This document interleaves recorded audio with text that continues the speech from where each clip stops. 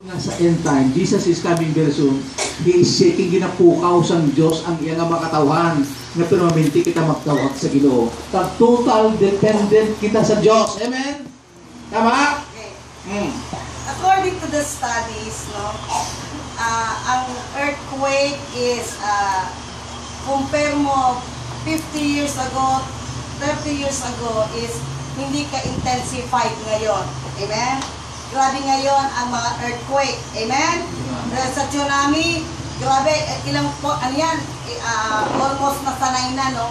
Or nine na ba yan? Okay. Ah, na, sa pag-aaral, they are uh, uh, malimit at malalakas. Okay, for example, halimbawa, in 1940, could be dalawa lang anak lang, anak lang ano, ah, oh, sa decade na yon.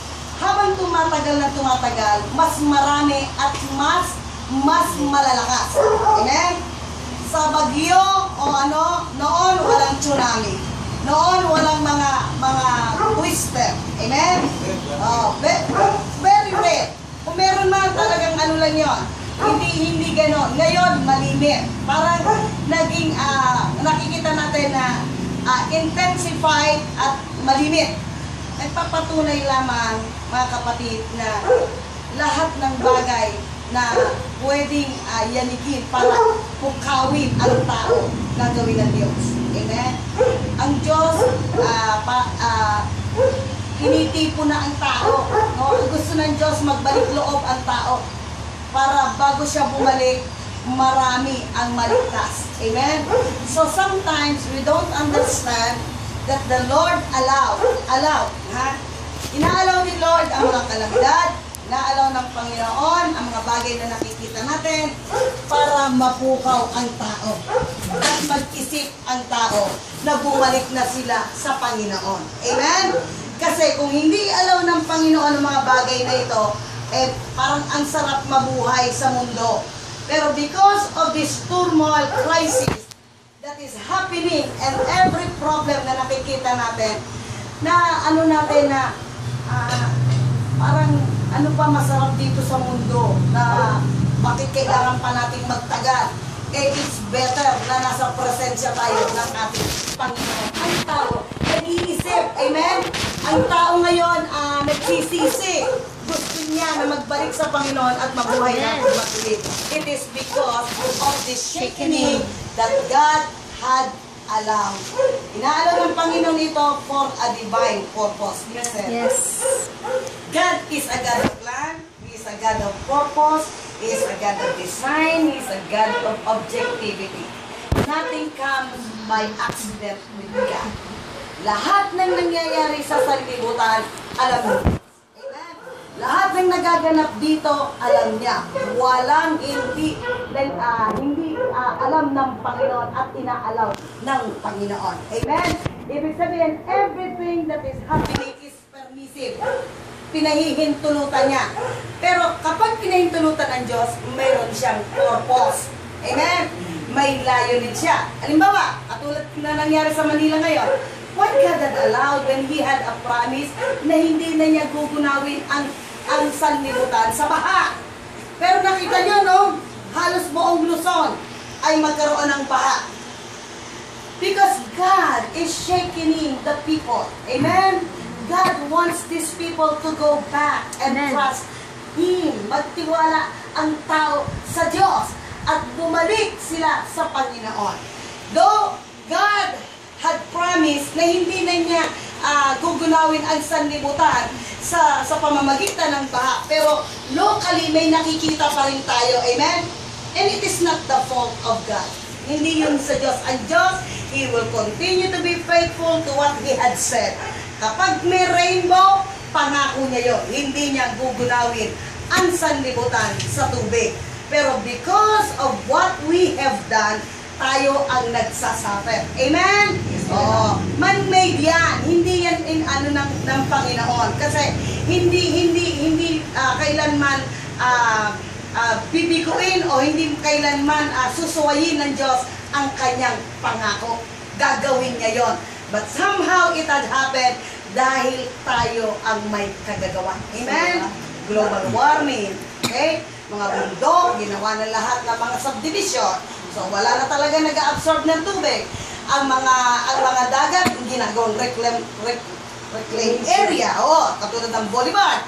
Tubig, tubig man yan dati. Okay? Nilagyan natin ng mga building, nilagyan natin ng kuwan. Sa amin, ang mga tabing baybaying dagat na dating walang mga subdivision, kinukuha nila. O sino ngayon na nagsasuffer? Amen? Tao rin, tayo rin. Global warming. Kasi ang mga North at South Pole, natutunaw na ang mga yelo. Amen? Kaya tumataas ang level ng tubig. Sino may kagagawa nun? Diyos ba may kagagawa noon? Hindi, tao. Amen? May- may- Tayo ang mayroong responsibilidad sa sanlibutan na ito. Amen? Unless we go to to the spirit of accountability, responsibility, and discipline. Grabe ang basura. Amen? Grabe talaga. Ewan ko kung bakit ganito ang Pilipino. Wala talagang kadisiplina. Hindi niya alam, babalik din sa kanyang-kanyang basura. Ako talagang, ako talagang pag nakita ko, grabe ang mga basura ba? Eh, Nasa mga bahay nila lahat ang basura. Oh, na, kawawa talaga ang mga nabahaan. Kaya ang baha, may nga explain nato sa suba na rin, magbaha mga subatan namin. Paano dito ya, putik, baho, basura. Basura. Grabe nga malumos ka sa basura, grabe lapuyot ka nga mga basura, tanang ka basura, grabe ka ng Manila. Di, saan ka matuto? Ang Pilipino mo lagi guro to ano mo, ano ano giling nga Pilipino mga maalaman nga mga ka, pero ano din sa disiplina. Siguro ginatuluan kita sa Ginoo. Amen. Pas, ang amo na siya ang today, today lang amo ni siya ang nag-earthquake subong mo sa kalibutan. Wow. Last uh, one hour ago sa Tonga region. Dili sa whole world ni siya ha, amo ni siya subong. Sige, kita nyo na. Kung gaano ka, ka, ang intensity niya at kung gaano siya kalimit. Kasi yan ang nagpapatunay lang na God uh, is allowing this shaking. He is shaking everything that He can shaken. Bakit? Pukawin ang taong bumalik sa Diyos. Amen. Okay. Basta Maraming tanong. According to... ah, yung sa akin din, personally, barumbado ako ba? Parang ayaw kong mag-change. Nung may family na ako, godly din ako, yung isip ko kasi mag-specialize ako. Magpunta ako ng Davao. Niisip ko kasi material, sisikat na ako, license ako. Anong nangyari? Nahulog ako, nabasag yung aking vertebral column. So, tat, dalawang fracture sa liig, isang fracture dito. Tiha, dala-dala ko ngayon. Pero binigyan niya pa ako ng tsansa na magbago. Kaya, wala na akong ibang puntahan ngayon. Balik ako sa Panginoon. Kaya, nagsiserve talaga ako. Yan ang shakening na talagang sometimes you cannot you cannot understand why God is uh, really putting a trial that is sometimes cannot be understood. It's really hard to comprehend God's plan. O, halimbawa, meron kayong sinasap na nasa, meron mo kayong sakit na nagsasuffer kayo ngayon. Sometimes you ask question, Allow these things sa buhay ko ba? Amen? But uh, it is, I'm telling you, God is not the author of sin, sickness, death, and poverty. Hindi ang Diyos ang author ng mga sakit.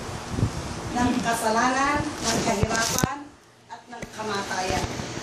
Hindi siya yan. But He allowed all those things. Si Satan ang gumagawa niya. Kasi God is all good. Amen? He will not allow na i-afflict ang iyong katawan, ang body. But somehow, kung sinishake ka ngayon sa iyong body, God has a purpose for your life. Amen? God can turn it for good sa iyong buhay. Pwede kang pagalingin ng Diyos, pwede siyang gumawa ng himala sa buhay mo, at kaya niyang baliktarin lahat ang paninira, ang shaking ni Satan sa buhay mo. God is a miracle working God. Hindi siya nagbabago. Kaya niyang gumawa ng himala ngayon. Amen?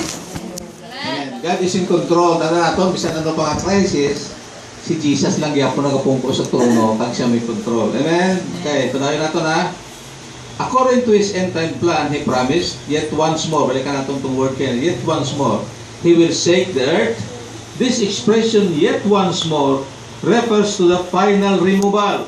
This tells us when, silindre, when this shaking will come. It will come during God's end time harvest. Ano? Gatuo kita nga end time na subong? Yes. Pag sa end time harvest, silindre, shaking will come.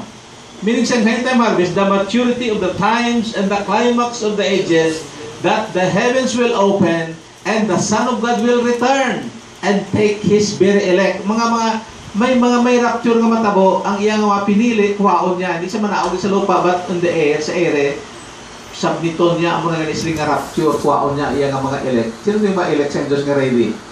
Amen. Hallelujah. Anytime, no? Okay. When He will bring all things together and consummate them in Christ, Ephesians 1.10. Okay. This shaking will affect every church denomination. Di lang nga, ang mga churches ginashaken man. Even mga Islamic world, tanang nga klase sa kalibutan ginashaken. Even ang atong society, tinan mo sa nga, ang mga ido may mga rights. Ang mga pagong may mga rights. Ang mga, di ba, monkey eating eagle, hindi mo matiro, ma mabilanggo ka, amen?